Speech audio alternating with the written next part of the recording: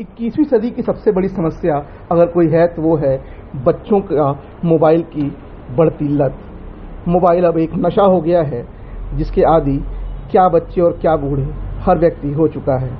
और लेकिन अब ऐसे बच्चों को मोबाइल के नशे से दूर करने के लिए जिला अस्पताल में एक नया प्रयोग होने जा रहा है। गत कुछ वर्षों में, खासकर कोविड के बाद, मोबाइल के उपयोग का प्रतिशत बहुत ज़्यादा बढ़ गया है।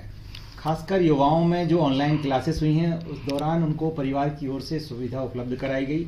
लेकिन अब वो आगे जाके जब ऑफलाइन क्लासेस भी स्टार्ट हो गई हैं, वो इसके अभ्यस्त हो गए ये एक वर्ग है।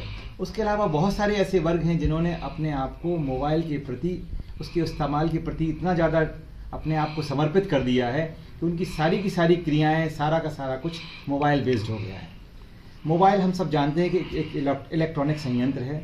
उसके बेजा इस्तेमाल, ज़रूरत से ज़्यादा इस्तेमाल के शरीर पर और मन पर, दोनों पर भी बहुत ज़्यादा प्रतिकूल प्रभाव पड़ रहे हैं।